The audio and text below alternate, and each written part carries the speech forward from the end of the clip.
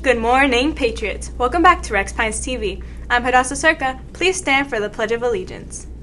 I pledge allegiance to the flag of the United States of America and to the republic for which it stands, one nation, under God, indivisible, with liberty and justice for all. And now for our school mission statement. We the Patriots achieve greatness through high expectations, passion, and perseverance. Thank you. You may now be seated. Today is Thursday, December 7th, 2023. Now let's go learn something new with Daniela for Today in History. Thank you, Hadassah. Hey, Patriots. Today in history, on December 7th, 1979, the first ever movie of Star Trek, the TV series, premiered in North America. The movie was called Star Trek, the motion picture directed by Gene Roddenberry. This is the start of a new movie and series franchise. At the premiere, the producers were accompanied by the cast members of the original series. Today, Star Trek is still continuing with the series. In fact, this year, 2023, was a great year for the series since it has released several new seasons that have resulted with good feedback. Now let's go to lunch with Jasmine. Thank you, Daniela. Today's lunch is cheeseburger, ham and cheese sandwich, tater tots, fresh baby carrots, garden side salad, ranch dressing, sliced peach, and choice of milk. And tomorrow's breakfast is banana apple muffin trifle, honey nut Cheerios, string cheese, fresh orange, and 100% apple juice. Students, please keep in mind that the lunch menu changes at any time, and to always bring your lunch card. Don't forget to let teachers know you're receiving lunch today. Bon appetit, now let's get back to Hadassah. Thank you, Jasmine. That sounds delicious. Tomorrow, kindergarten will have their turn at the Patriot Store. The store opens at 7:15 and closes at 7:55 a.m. Make sure to come on time. Tomorrow, get as cozy as possible while wearing the most comfiest socks ever, and make sure it's festive.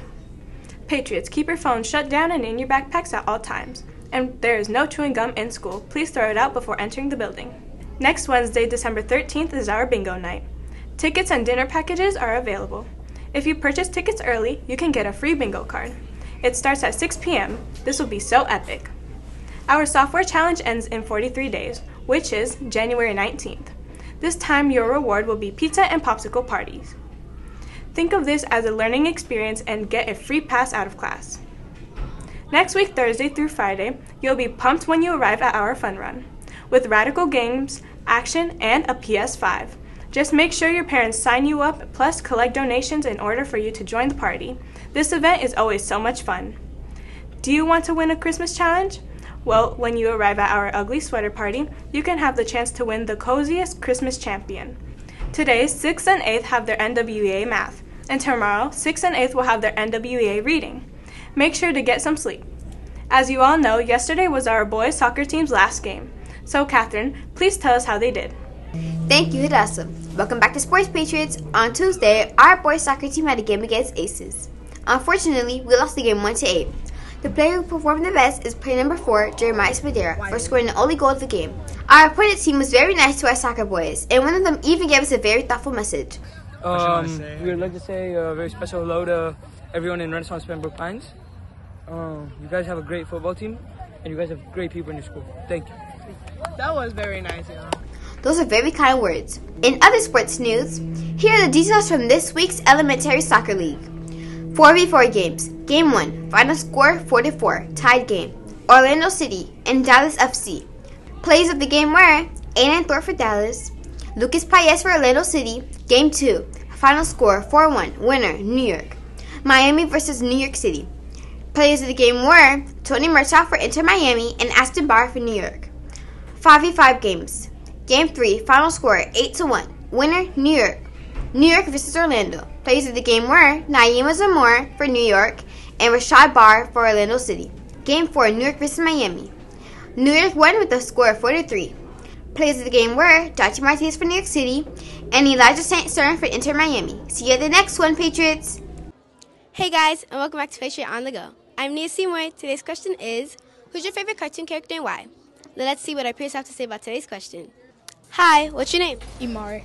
Hi, Imari. So, who's your favorite cartoon character and why? SpongeBob because he's funny and energetic. Wow, I really like SpongeBob too. Thank you. Hi, what's your name? Tyler. Hi, Tyler. So, who's your favorite cartoon character and why? SpongeBob because he's like so goofy and so chill. Okay, a lot of people say SpongeBob. Thank you. Hi, what's your name? Ramaya. Hi, Maya. So who's your favorite cartoon character and why? Um, probably Olaf, because like he's really fun and energetic. Okay, thank you. Hi, what's your name? Jeremiah. Hi, Jeremiah. So who's your favorite cartoon character and why? Alvin from Alvin and the Chipmunks. Why do you say that? Because he's funny. Thank you. Hi, what's your name? Derek, Hi, Derek. So who's your favorite cartoon character and why? uh, Simon, because he's smart. Okay, thank you.